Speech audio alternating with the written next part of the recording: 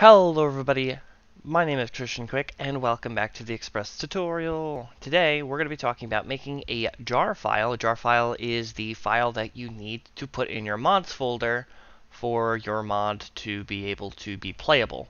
So just go into your terminal and then we're going to dot slash and then we're going to grade lu w space build uild. Alright, now it only does take a little moment. The larger the mod, the more thing it's got to go through. Smaller the mod, it's pretty small. We only just got two blocks and a couple of assets, so there it is, 10 seconds. So sometimes it'll take probably a couple minutes, depending on how large your mod is. But we do now know how to make decorational blocks and stuff like that. Um, but now, what do I now? What do I do with it? Uh, and where do I find it? So it should be like on your desktop. And if we go into build, your libs, and then here is that jar. I'll copy it to my desktop. And what I would need to do is I would need to find all the information. So if I go on here and I look up the fabric installer, and then you'll have your installer for your Minecraft, and then you'll have to download for Windows, and then you will uh, open it up.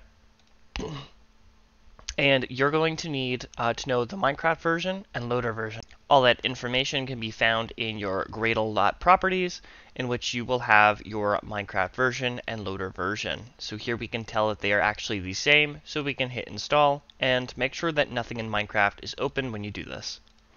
The last thing you're also going to need is your dependencies, which is called the Fabric version, and version 84 for 1.20.1. So let's go on to here and let's look up the Fabric API for 1.20.1 and then we'll go into CurseForge. I would click on Files and then look for your version 84 for 1.20.1 and then you'll download it in which it'll end up in your downloads. You're going to need to put everything in your mods folder. So if I put in uh, percent app data percent and then I go into my Minecraft and then I'll go into my mods you are going to want to make sure that everything is then in your mods folder.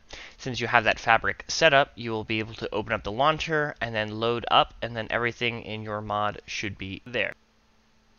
If you ever want to update your mod, all you would need to do is simply just increase one of the numbers. You can change it however you feel. I normally have the version that I have uh, and then you would have an update coming from that version.